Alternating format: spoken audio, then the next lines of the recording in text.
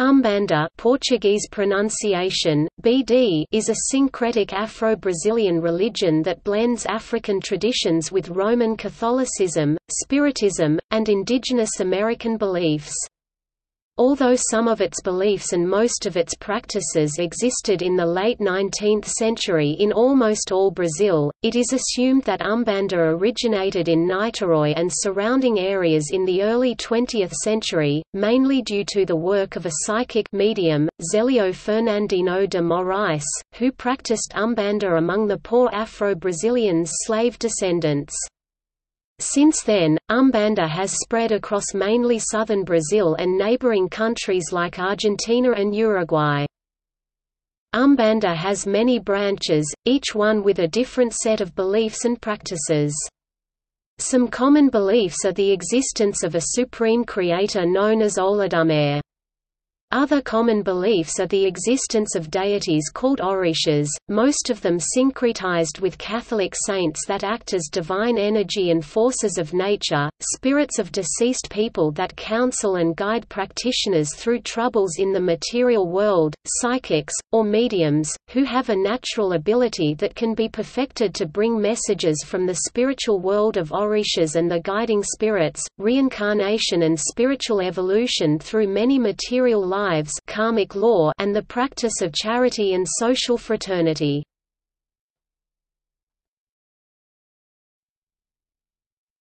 Topic: Basic beliefs and practices.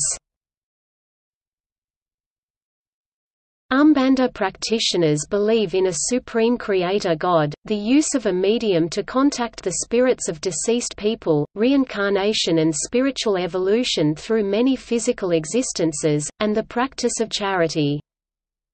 The opposite side of the Umbanda white magic, i.e., black magic, the practices that intended to cause evil doings, became known as Quimbanda. Umbanda is juxtaposed with Quimbanda which now reclaims its identity as a separate religion and distinct from Umbanda. 100 years after its establishment, Umbanda divided itself into several branches with different beliefs, creeds, and practices. Some of these branches are Umbanda Dangola, Umbanda JG, Umbanda Ketu, and Umbanda Esoterica.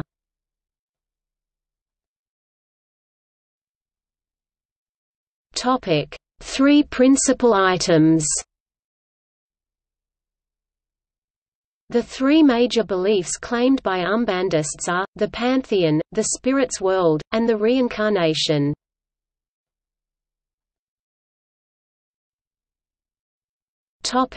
Pantheon Umbanda has one supreme god known as Olorum or Zambi in Umbanda Dangola and many divine intermediary deities called orishas. Orishas and spirits are organized in a complex hierarchy of legions, phalanges, sub-phalanges, guides, and protectors.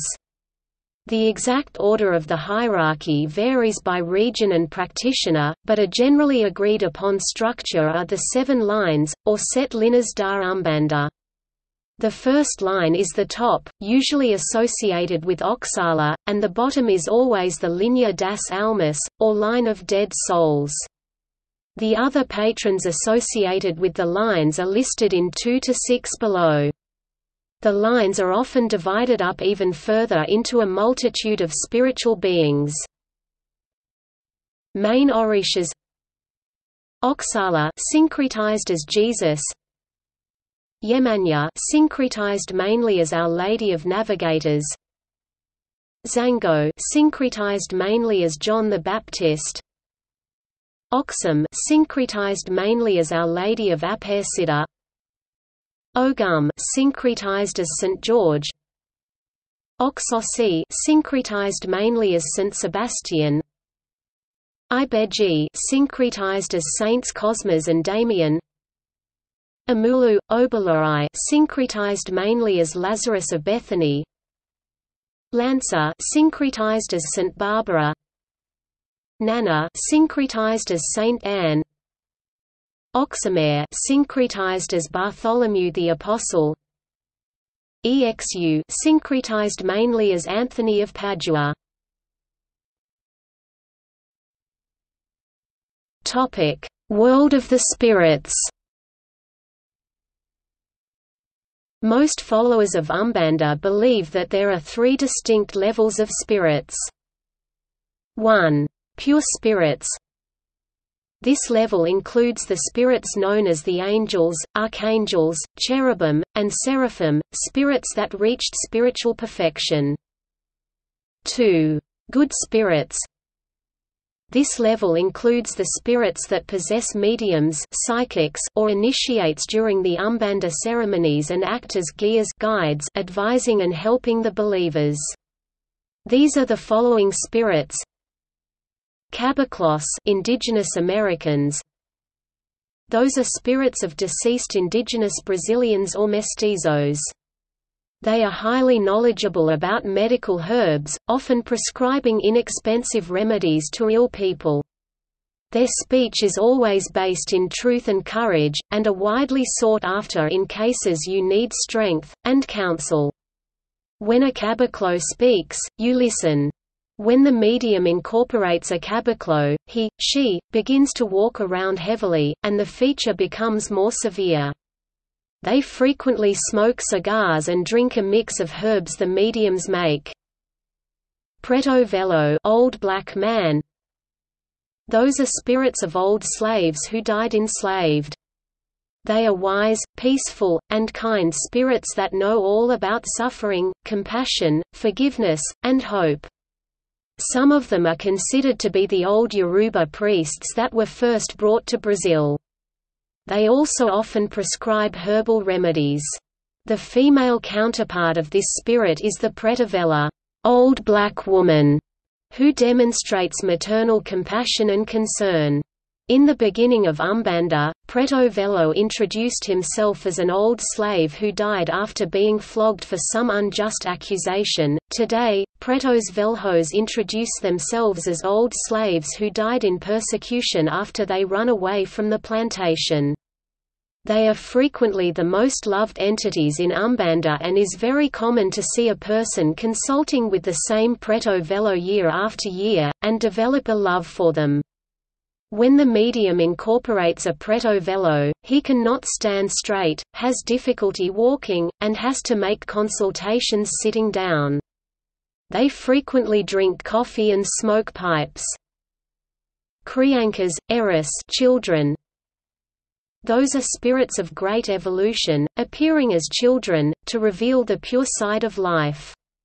They are not children who died at an early age.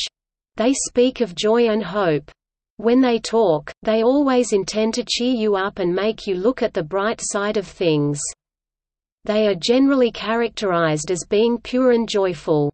Most people make the mistake that, since the medium psychics speaks funny, uses candies, lollipops, and ribbons in his head, that he is to be taken lightly. The Erês are evolved spirits who say very serious things, although in a funny way. When the medium incorporates an air, he laughs very much, dances, frequently appears with stuffed animals, and speaks with a child's voice. They frequently drink guarana and eat candy. Baianos people from Bahia state The spirits of people who were practitioners of Umbanda, also considered as the spirits of deceased ancestors. Since they are closest to our time, in comparison to the deceased slaves and the indigenous Americans, they have a different manner in speaking. They are slow talking with the accent of Bahia. They talk about the need to know how to interpret and overcome the difficulties of life. They frequently drink coconut water, eat farofa, and smoke cigarettes. Boiadeiros The spirits of deceased gauchos who lived a hard life in the Sertão, the arid hinterlands of Brazil. They speak of love, but are frequently harsh in their speech. They work in the spiritual cleaning of the person who is being attended, the medium, and the terreiro the place where the umbanda encounters gira is held. Marujos or marinheiros sailors, spirits of deceased sailors or fishermen that use the power of the ocean to protect people from evil. The water, especially salty water has its manner of protecting people, cleaning and cleansing.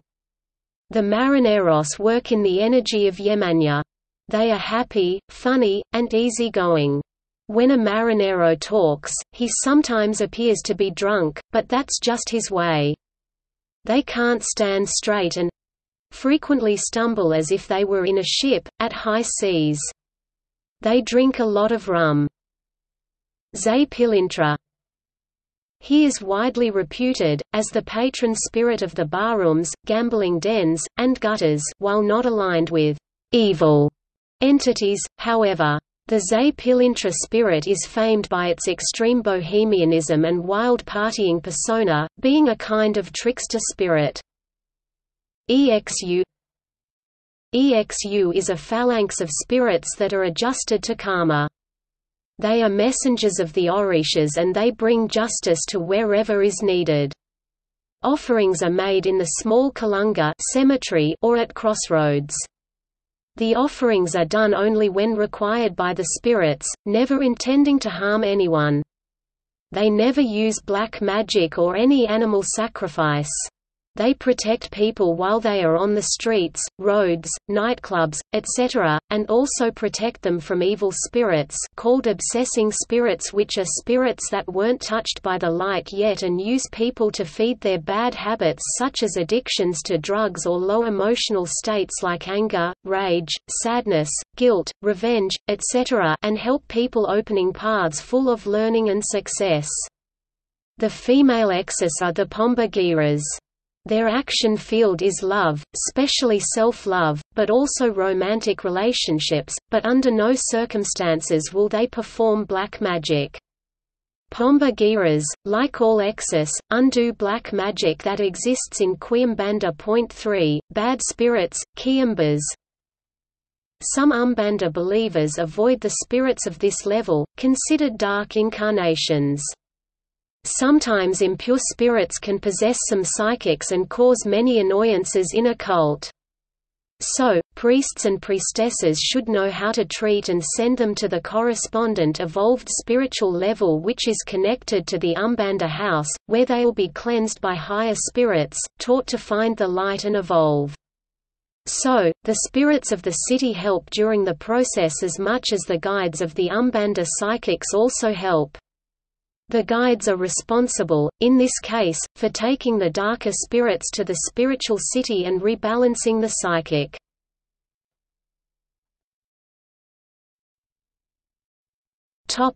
Reincarnation Reincarnation in Umbanda is different from in Hinduism. The law of the reincarnation is the central point of the karmic law.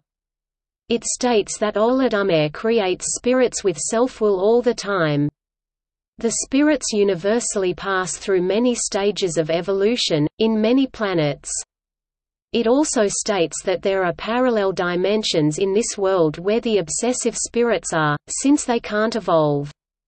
They have the choice of being good or bad, through ordinary acts and the love that they display towards other people. When they die, the good ones advance to a superior stage of spiritual evolution, in other planets. Those that do not succeed should reincarnate until learning what they were supposed to.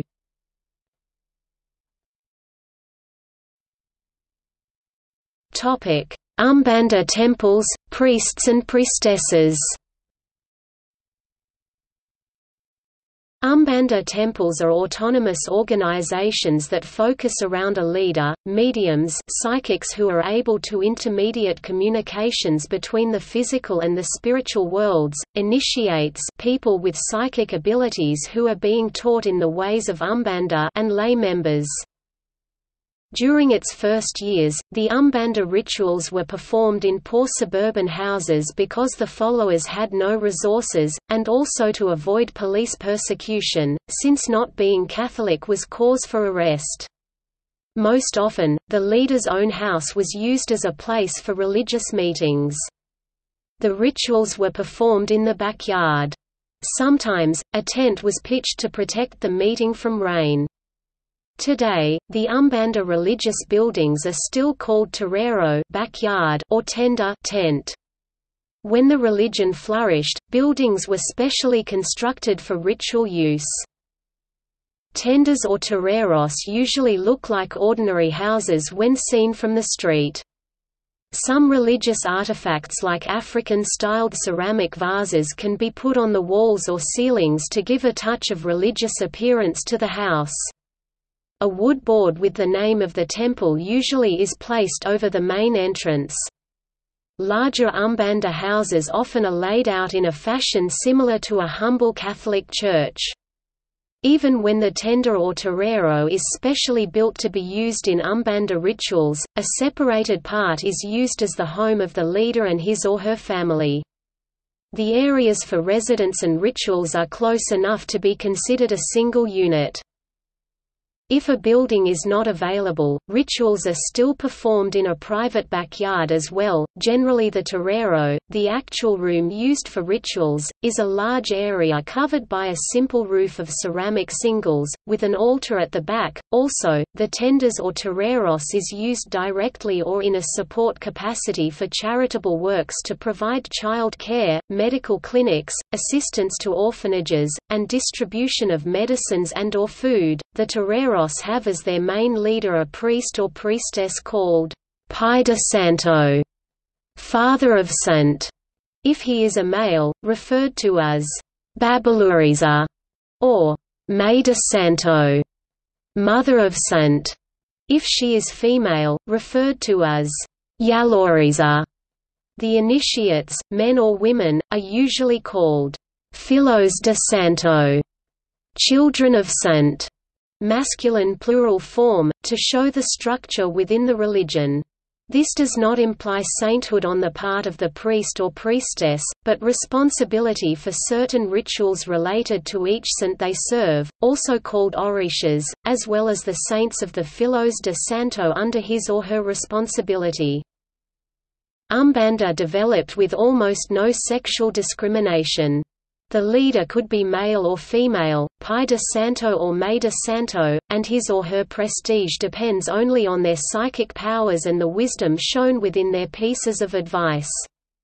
Its main difference when compared to the Catholic Church is that in Umbanda, homosexuals face no prejudice, for Umbanda does not judge believers by sex, race or sexual orientation. Each Umbanda terreiro practices the same religion with variations, according to the policies of the Pai de Santos or the Mãe de Santos spiritual mentor, as well as in accordance with the teachings and philosophies of the various traditions within Umbanda. During these ceremonies, the priests, priestesses, and initiates wear white costumes and pay homage to the spirits and orishas. Topic rituals and ceremonies 100 years after its establishment, Umbanda is divided into several branches with different rituals and ceremonies. As the Terreiros de Umbanda are loosely united by the Umbanda federations, there is not a strong adherence to a single code of rite, ceremonies and creeds. The Umbanda Branca, the original form created by Zelio de Moraes and his group, adopts the worship of orishas but rejects the black witchcraft, the colorful costumes, and the animal sacrifices practiced in the Macumba and Quimbanda rituals.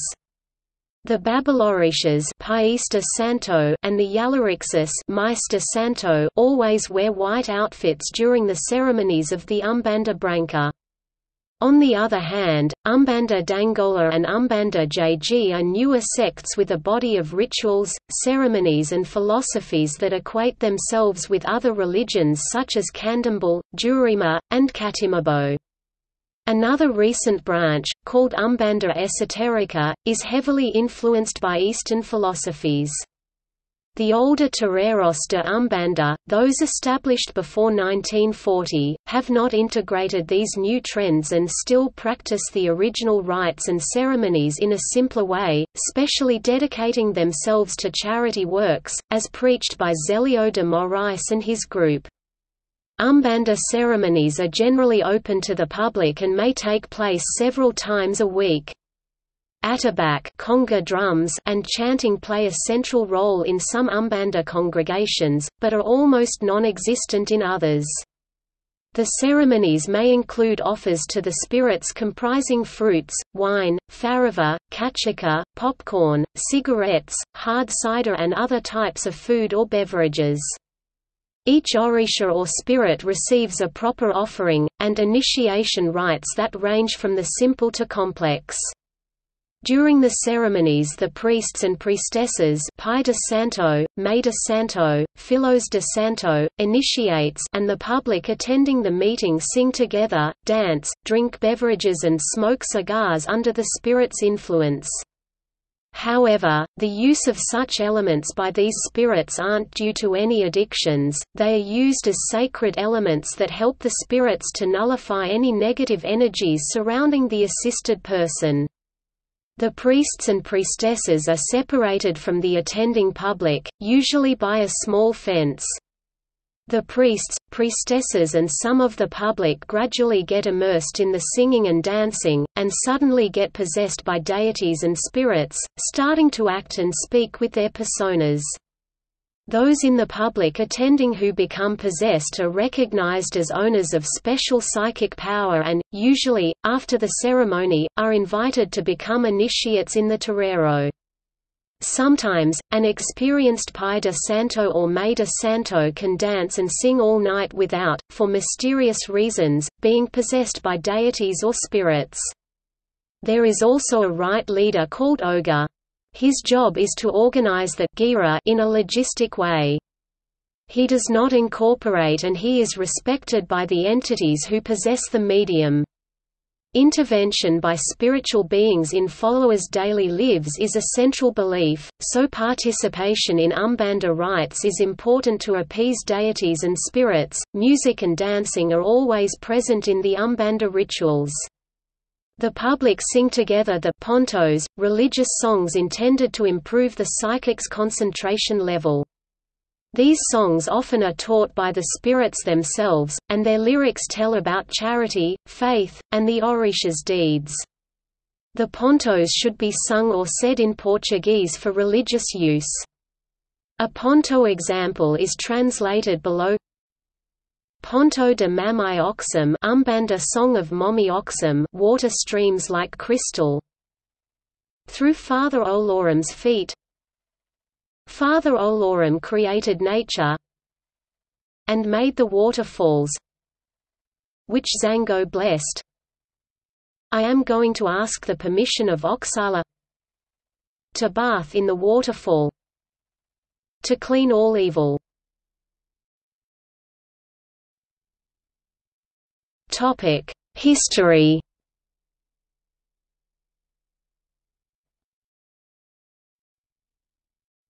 Topic: Historical background.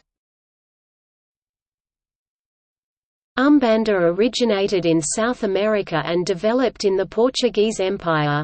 In the late 19th century, many Brazilian scholars criticized the African Brazilian religions, claiming they were primitive and hindered modernization. At the same time, Allan Kardec's Spiritism, a development of spiritualism creeds, was increasingly accepted by the Brazilian urban middle, upper class with followers since 1865. Since that Spiritism came from Paris, with the upper classes, there was no integration with the lower classes. The Kardecists, followers of the Spiritism, were mainly middle-class people of European descent, many of them pursuing military and professional careers. They were deeply influenced by Auguste Comte's philosophy, positivism, that aimed to join religion and science and to help the development of society to a higher level.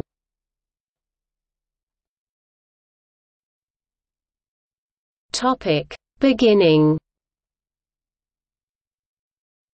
On November 15, 1908, a group of Kardecists met at a séance in the neighborhood of Neves, São Gonçalo City, near the federal capital, Rio de Janeiro. Among them was Zelio Fernandino de Morais, a 17-year-old boy who was studying to join the Naval Academy and later became an officer. During the séance, Zelio de Morais incorporated a spirit who identified himself as the Caboclo das Sete Encruzilhadas half Indian peasant of the Seven Crossroads. After that, Zelio de Morais incorporated another spirit who identified himself as Pai Antonio Father Anthony, a wise old slave that had died after being savagely flogged by his master.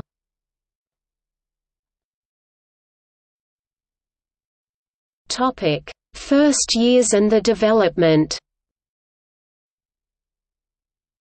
The first Terreiro de Umbanda was founded by Zelio de Moraes in an uncertain date of the 1920s and named Centro Espírita Nossa Senhora da Piedade Spiritism Center of Our Lady of Mercy.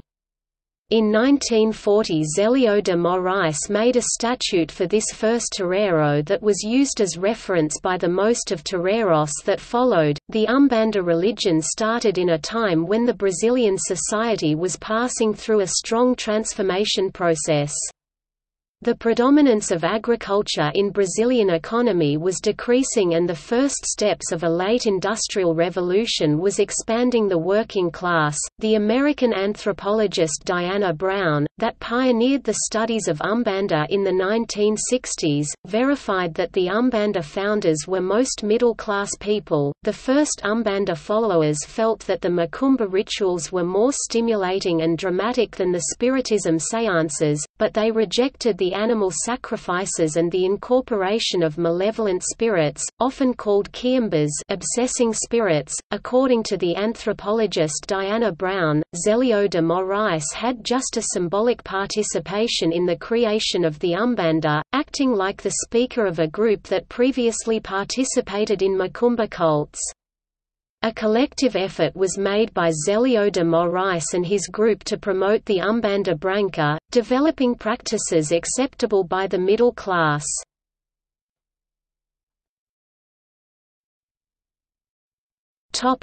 Expansion during Vargas dictatorship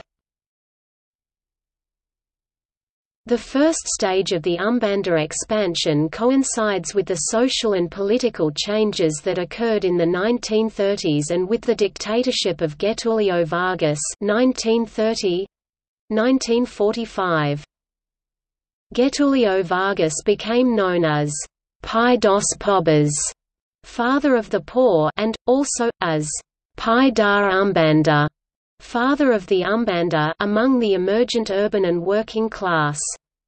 Until 1966 many Umbanda terreiros had a Getulio Vargas picture in a place of honor, despite the identification with the objectives of the Getulio Vargas dictatorship, the Umbanda followers were persecuted. The police repression interrupted religious meetings, beat the psychics and followers and confiscated their instruments of Umbanda.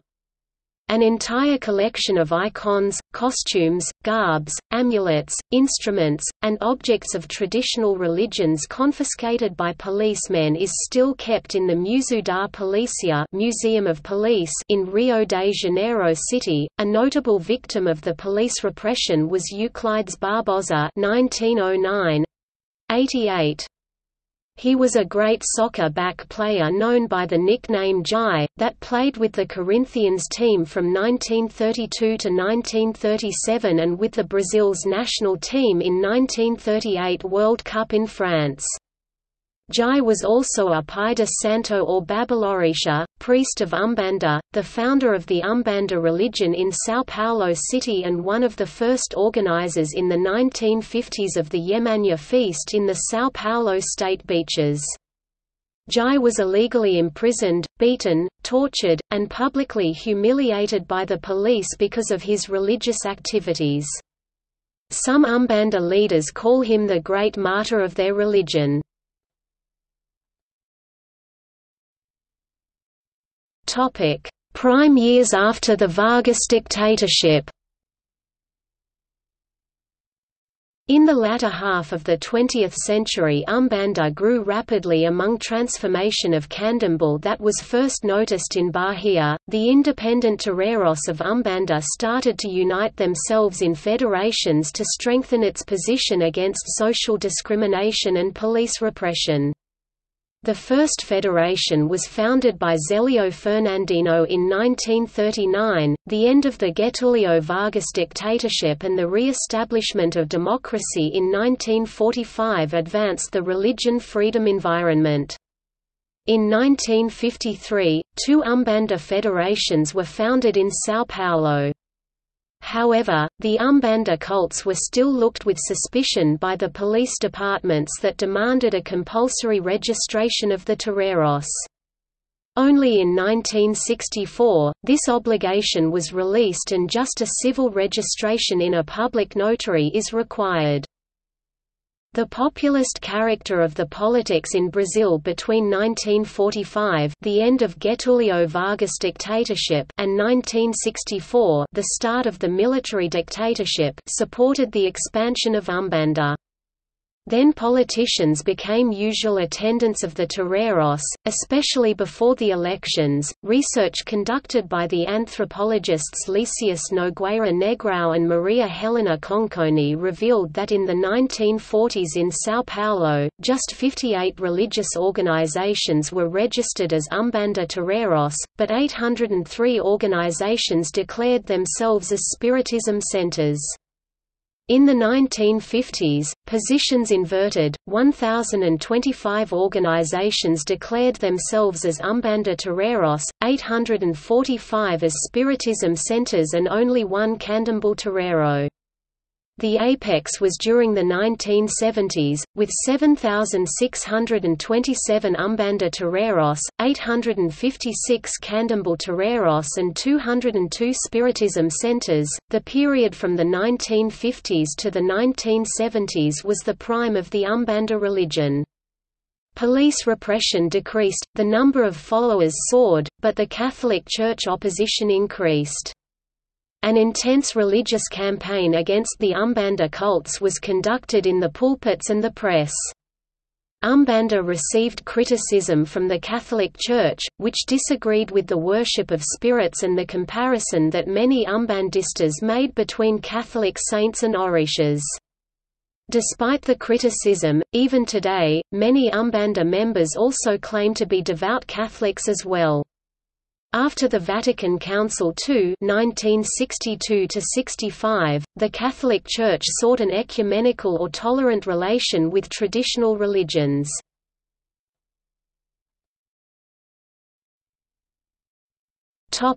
Opposition In 1974 Umbanda practitioners including declared and undeclared were estimated to be about 30 million in a population of 120 million Brazilians. After the 1970s the Umbanda cults begun to be opposed by Pentecostals. Evangelical Pentecostal churches have begun attempting to evangelize and, in some cases, persecute practitioners of Umbanda and other traditional religions. Umbanda practitioners have taken cases to national courts and achieved a high measure of success. In 2005 the Superior Órgão de Umbanda do Estado de São Paulo Superior Organization of Umbanda in São Paulo State won a judicial case in the federal court against the television broadcasting systems Rede Record and Rede Mulher, that belong to the Igreja Universal do Reino de Deus, a neo-Pentecostal church. The public attorney Ministerio Público denounced television programs that treated the traditional religions in a derogatory and discriminating way.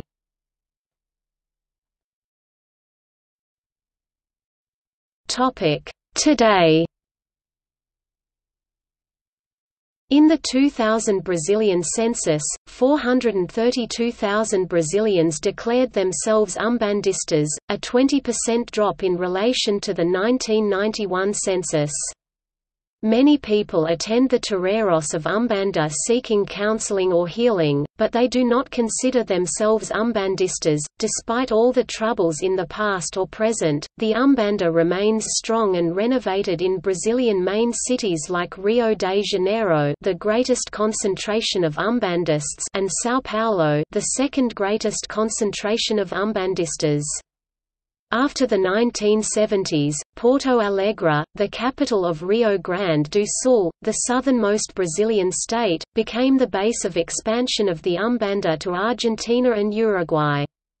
Today, Umbanda followers can be found in the United States of America as well. The syncretic religious practice known as Santo Daime, founded in the 1930s by Raimundo Irineu Serra, has been incorporating elements of Umbanda in its rituals, especially in the line called Umbandaime. The use of ayahuasca is an important aspect of their ceremonies.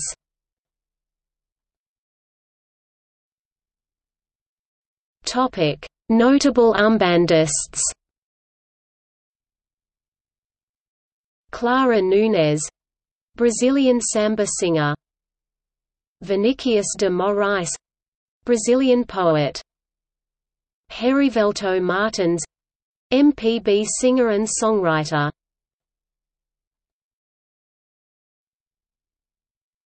Topic: Bibliography De Matta, Roberto. Religion and Modernity, Three Studies of Brazilian Religiosity. Journal of Social History. Winter 91, Vol. 25 Issue 2, pp. 389–406, 18 p.